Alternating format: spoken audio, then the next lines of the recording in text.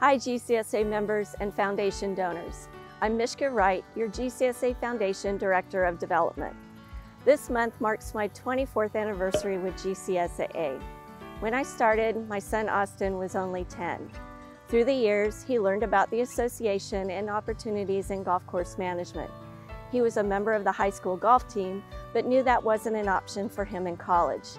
He decided to pursue becoming a superintendent.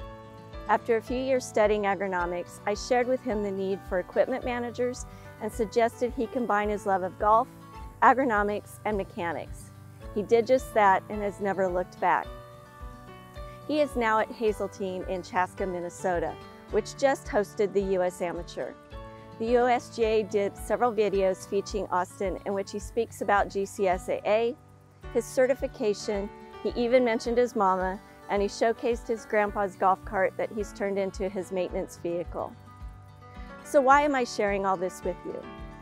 Because it's about the future of the game to ensure that our children and grandchildren will be able to have the same opportunities to work in and play the game of golf.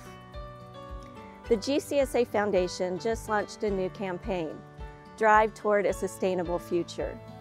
We need to make sure that our members have the tools and resources they need to ensure that golf courses are environmentally and economically sustainable.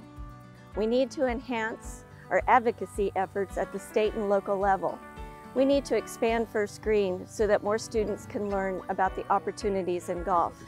And we need more funding for research and data collection to protect the game we love. Please join me in supporting this effort by donating today using the QR code in this newsletter.